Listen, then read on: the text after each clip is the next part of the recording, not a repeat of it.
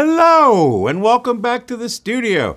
I'm Dr. Wiggo, and today I've got 10 tips and hints, and I don't know what to call them, things to help you get ready if you've just switched from Windows to Mac, because things are very different. Very different. Although a lot of it's also the same. Eh. The first thing, and this isn't one of the 10 tips, but the first thing you get asked when you go to set up your new Mac is it's going to say, Do you want to transfer stuff from another machine? If you're new to the Mac coming straight from Windows, well, one of the things it offers is the Windows Migration Assistant, which will move your files and stuff over and all sorts of stuff. But maybe you don't want to do that. If you're one of the people who just used all the default locations for everything in Windows, like you put all your documents in the Documents folder and you put all your pictures in the Pictures folder, if you just use the standard folders in Windows, well, then yeah, go right ahead use the Windows Migration Assistant. But if you're like me and you had complicated folder structures on data volumes and all this kind of stuff,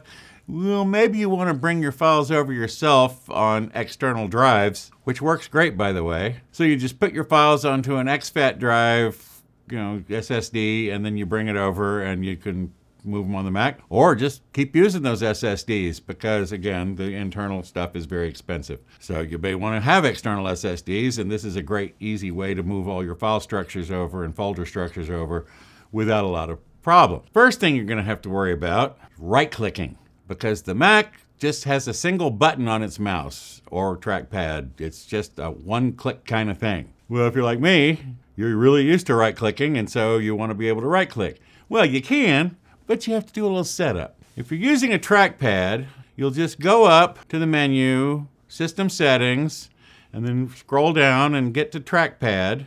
And then if you scroll down, you will see you can use two fingers. You can have it either upper right, lower right. I use the two finger tap on the trackpad. It's just, it's easier that way. Now, if you're going the Magic Mouse way, well, then you go to System Settings and go down to Mouse and you will see that there is a secondary click and you can turn that on and that's what I use to right click. And then you just click the right edge of the magic mouse and it reads that as a right click and you can pop up menus and do all the stuff you do with a right click. Now, one of the biggest differences between Windows and the Mac is menu bars, because on the Mac, the menu bar is always at the top of the screen, no matter what window you're in. Whereas on Windows, of course, it's right attached to the window which makes multitasking way better on Windows because your menu bar is right with your window. So when you've got multiple windows open, when you go to another window, you can go right to the menu bar. Now you have to click on the other window, and if you got to go way up to the menu bar, this is why Mac users learn so many keyboard shortcuts. I have a 40 inch 4K monitor, and it's a long trip to haul up to the upper left-hand corner to get to the menu bar. I have an OLED screen, so one of the first things I did was I go down to Control Center. I don't know why it's there, but if you go way down, you will find automatically hide the menu bar. And so I click on that, and now the menu bar will go away unless I put my mouse up at the top of the screen, and then it will drop back down. Now the other thing are the little dots in up at the top of the window, which on Windows over on the right hand side, like you click the little red X and it goes away. Well, this little red dot doesn't quite do the same thing. We do have a yellow dot and a green dot. Now the green dot will full screen. So you can just hit the green dot to go into full screen or and come back. The yellow dot will minimize the window into the dock, which we'll get to shortly. See, it's down there now, and you can click on it, and it comes right back. But the red dot closes the window but does not quit the application. So when you want to quit the application, you have to go up to the menu bar and select quit. Yeah, that's a bit of a pain. That's one where Windows is actually a little better, but hey, they can't all be great. Now, the next big difference is the keyboards. If you're coming from Windows, you are used to hitting Control whatever, because the Control key is your modifier key that you use for cut and copy and paste and all that kind of stuff. Well, not on the Mac. On the Mac, it's the Command key, which back in the day we called the splat key because the little symbol on it looks like a splat. We made it up. So it's Command C for copy and Command V. Now, there is an upside. On most Windows keyboards, the Control key is way over, so you have to do a bit of a reach to do Control C. On the Mac, the Command key, the Command key is right next to the spacebar, so hitting Command C, Command B, Command, etc., pretty easy. Just to keep things confusing, there's also a Control key, but it doesn't work like the Control key on Windows. The Command key is what used to be you're used to as the Control key. The Control key is another modifier key that you can use for other things. And there's an option key. So you can do command, option, and get different things that we'll talk about in a minute. So yeah, that's going to take a little getting used to. Whenever you think you should need to hit control something, you hit command something. I mean, it's that it's that easy. But it will take you a minute to get used to it. Now, this next one, if you're a Windows power user, you're used to the File Explorer, and the File Explorer has that little nice little path bar where you can click on things to move back and up and down folder structures. Both Windows and the Mac are set up where you're supposed to just stick things in a documents folder and then you don't need all that folder structure stuff. But the Mac has the capability. So on the Mac, you want to go over to the View menu and hit Show Path Bar. And see, there it pops up down at the bottom and you can see the path through your folders and you can click on the little thing at the bottom and it'll jump you back. Again, if you're coming from Windows, the taskbar is where lots of stuff happens. I use the taskbar all the time. I would pin things to the taskbar so I could just click on it to open it. Well, the Mac has the equivalent called the dock, which is typically down at the bottom of the screen, and you just click on things on the dock and they pop open. In my last video, I said that numbers, pages, and Keynote are usable right out of the box. Well, that's not technically true. They're in the App Store, but they're free, so you have to go get them. So let me run get them.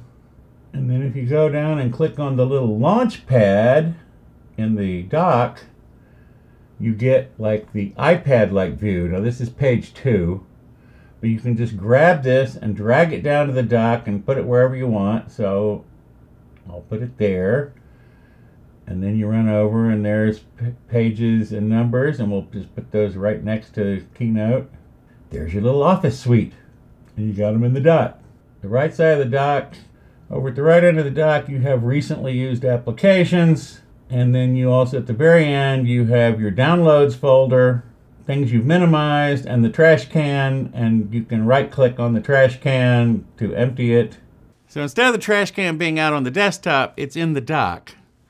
So the dock can be a little more useful than the taskbar, but it's different. And there's other things that you're, used to in the taskbar, like the start menu. Well, that launch pad is kind of like the start menu, except not really. Just keep messing around. You'll figure it out eventually. Now, to get to Control Center, you go up to the right hand, upper right hand column, you see the little icon there for control center. and You can drop it down.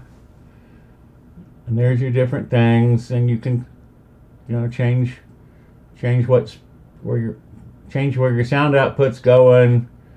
You have access to all these things. And you can customize it in system settings. You go to control panel.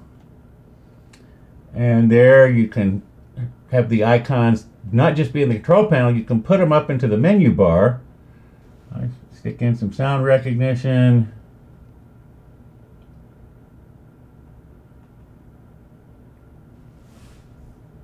Again, hiding the menu bar because of the OLED screen.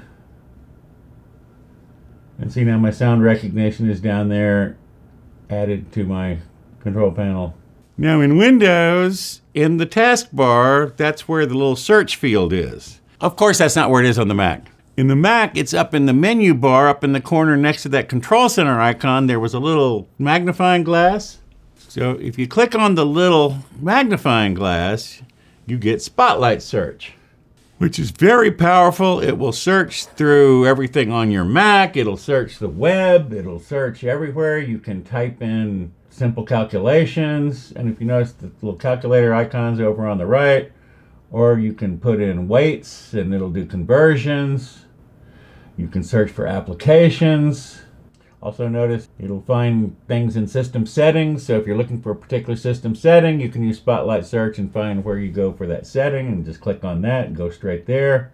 It'll show you things in the App Store And here is where in system settings, this is where you can control what it will include in its search.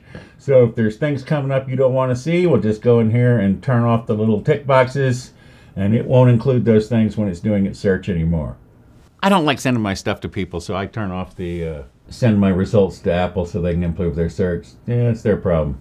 In the comments on the last video, several people, and this comes up a lot with former Windows users, I wasn't one of these people, but apparently a lot of Windows users use Alt Tab to constantly move between windows. So if they're looking for a different window, they use Alt Tab.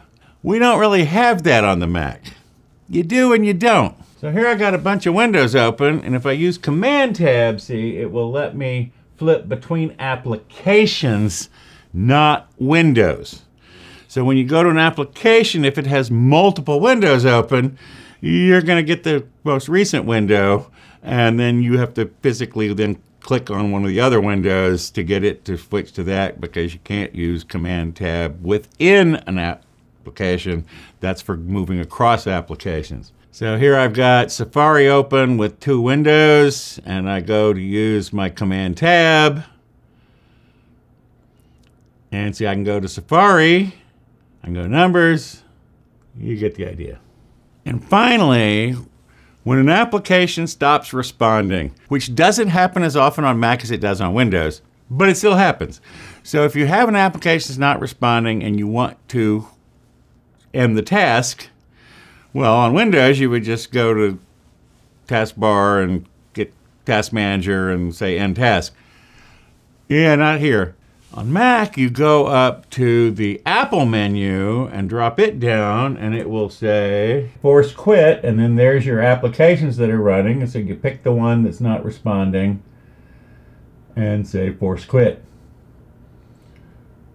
That's the end task. So I know I've only scratched the surface. There's lots of other differences, and in fact, I'll do more videos. And first, I have to kind of learn some of this stuff because I've only been using the Mac as my full-time machine for since I got the Mac Studio, which you can go watch that video down below. I'll also do some apps. There are a lot of apps you can get for on the Mac that will help it be more like Windows if there are things in Windows you like, like Windows snapping into, into place when you move them around.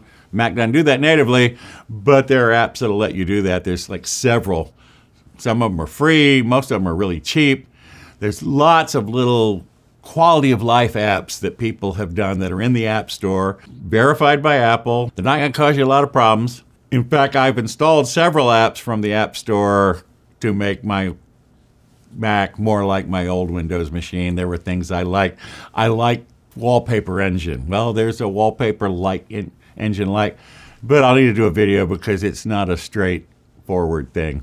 So that's coming up in the future. We also have WWDC coming up real soon, so there'll be a video about that after all those announcements. Plenty of Apple content coming, and plus I've got a game I want to talk about, Clair Obscur, Expedition 33, Game of the Year. I have a video about that coming. There's lots of stuff coming, so subscribe, come on back. But that's it for today. Thanks for stopping by. See you next time. Bye bye. I got to go figure out what I'm going to talk about next week. Thanks for staying to the end. Bye bye.